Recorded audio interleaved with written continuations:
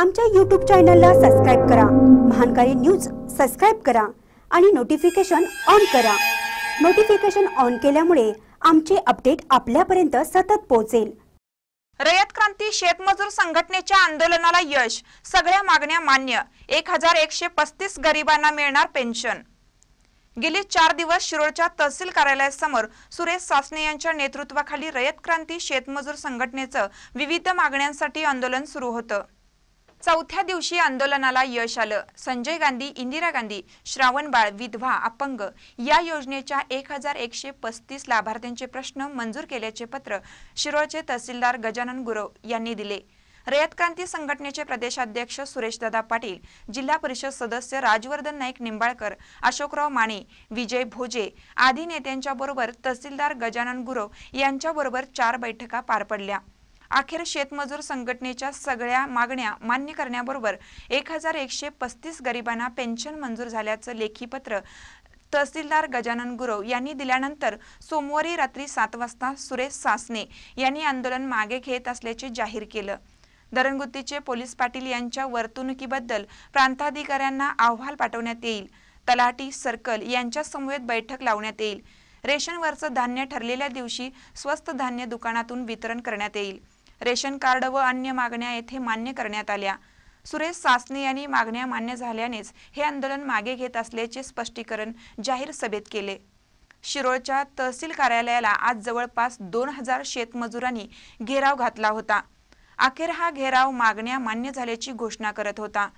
शोभा पांदारे विद्याधर कोठावळे यांनी घेराव मागे घेतला. यावेळी सुनीता पाटील श्रीमती बोरगावे मुबारक मुल्ला धरणगुत्तीचे पाटील यांनी मनोगते व्यक्त केली. रयत क्रांती शेतमजूर संघटनेनं सोमवारी आक्रमक पवित्रा घेतला होता. शिरोळ पोलिसांनी चोख पोलीस बंदोबस्त ठेवला होता. आजच्या आंदोलनामुळं प्रति महिना सहा लाख एक्क्याऐंशी हजार रुपये आता जादा येणार. बारा हजार आठशे चौऱ्याण्णव गरिबांना दर महिन्याने सत्याहत्तर लाख छत्तीस हजार चारशे रुपयेची पेन्शन मिळणार आहे. महानकर न्यूजसाठी शिरोळहून कॅमेरामन संदीप इंगळेसह ऋषिकेश बावचे. सांगायला कोणाला आवडत नाही. बरोबर का चुकीचं?